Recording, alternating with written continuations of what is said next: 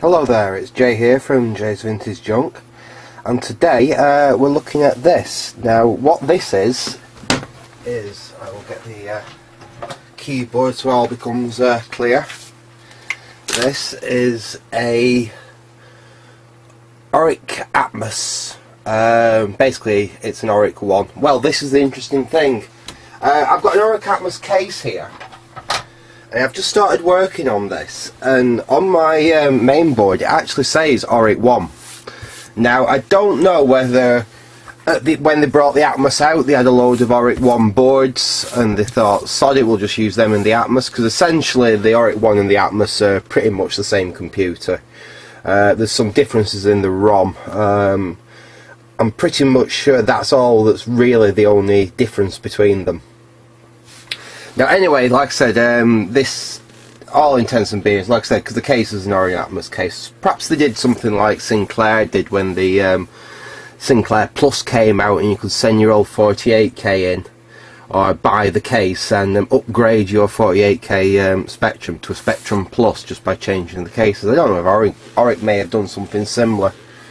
But uh, anyway, yeah, this is a um, Oric 1 stroke Oric Atmos uh, computer. I've had this, it's another of these computers, I've had it for years, it's another car boot sale cheapie I picked up. I remember when I bought it, I tried it, I plugged it in and um, it didn't work. Um, I can't remember whether it did anything or not actually, um, but I know it didn't work and it ended up in the attic. And I dragged it down the other uh, other day and I uh, found a power supply that would work. I seem to have lost the original one. I did have the original Oric supply for it, but it just needs 9 volt DC, unsmooth DC. Um, I plugged it in and I was getting um, nothing on screen at all. Um, apart from just a little bit of like wavy lines and some background uh, video interference. That was pretty much it. So I opened it up and I uh, got the old trusty uh, voltmeter out, and I um, this thing uses a um, 7905, not a 7805. So it's a minus five volt voltage regulator. It uses. Um, anyway, I um, stuck my that's the uh, that's the little voltage oh I'm showing that on screen? That's little voltage rig there. Like I say it's a 7905 minus 5 volt voltage regulator as opposed to what we normally uh, play within like the old spec is which is the 7805 um, plus 5 volt voltage regulator. But anyway I uh, stuck my um, test meters on the output of that which should have been 5 volts and I was getting 8 volts so I rather quite quickly and hastily put my um, meter probe on the VCC line of the 6502 there and I am getting 8 volts where I should be getting 5 volts. So I very quickly switched the computer off and fortunately I had some in stock. I uh, I replaced the um, 7905 there with a brand new one as you can see is a there. Interestingly enough, this has been changed before as well because the soldering around it was um, pretty ropey. Uh, it weren't shorted or anything, but it wasn't in the nicest, uh, neatest soldering. So um, even if that hadn't been faulted, I'd probably redone the soldering on it anyway. Uh, anyway, yeah. So I put a 7905 in there, and um, I powered it up, and I'll just show you on the screen now what I first got when I um, powered it up. Let's make sure you can see the screen there. So I'll switch it on and that is what it was getting. So um, obviously it didn't like 8 volts where it should have had 5 volts. Now I left it running like this while I was taking a few measurements round. I've even got the old um, the old oscilloscope out if you can see there. Uh, I thought this was going to be a real um, bugger of a uh, bit of a challenge this one with um, quite an over voltage like that. So I dug the old oscilloscope out um, and I had it on for a few minutes and I was um, just doing a bit of a touch test like this until I got to that RAM chip there. And I forget I will switch this off now.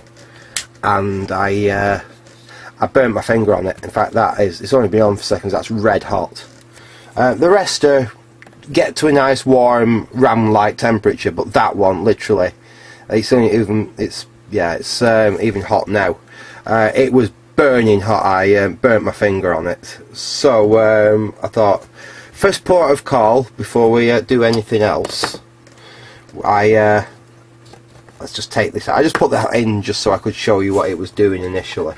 So we uh, whip that out. Now these are um, my eyesight's going now but uh, it's not as good as it used to be. Uh, let me see if I can find something I can uh, just get that with. These are IMS um, 2600 um, dash 150s um, which I don't have any of but what I um, did is I have stuck in a TMS 4164 which should um, I think it's pretty much an equivalent of this. I haven't dug the data datasheet out for this yet but I'm I'm pretty sure that that's an equivalent. Anyway I uh, I shoved that in there. Let's just get that in the board and um, I'll show what we've got up to now. I'll switch it on like that and as we can see now I know it's not exactly. Oh you can't just see that that's going off the screen. Let's uh, bring you up like that. I don't know if you can see that or not but we are actually getting here the um, copyright message the um, bytes 3 ready. So the computer's actually up and running and amazingly um, that over voltage all it's actually really killed was one uh, RAM chip. Now obviously there's still something um, awry with this computer. It's not the video cable, I don't think. No, it's not.